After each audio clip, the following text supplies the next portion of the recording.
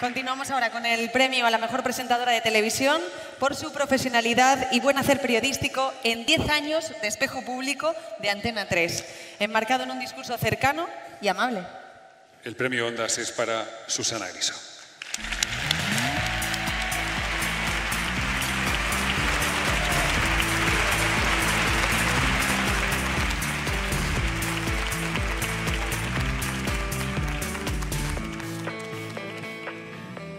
Veníamos, muy buenas noches, Josep Cuní y una servidora por el backstage y unas azafatas han dicho, déjalos pasar que son figurantes.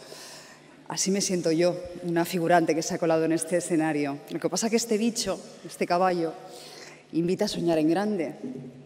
Yo no podía imaginar tanta generosidad por parte de los compañeros de profesión siete años después y en un año tan sumamente complicado y doloroso como ha sido este.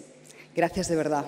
Quiero hacer extensiva esta generosidad a periodistas veteranos a los que admiro, que le dan al botón de pausa el tiempo que sea necesario para reflexionar, para digerir, para analizar lo que pasa, más allá de las urgencias del directo o esa voluntad por ser los primeros o los líderes en audiencia.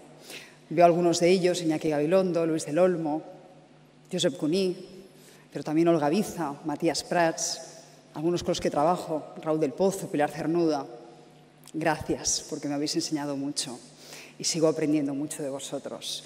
Y lo quiero dedicar a dos mujeres soñadoras que pasan mucho sueño, como son Belén García, la directora de Espejo Público, y Nuria Donate, la productora.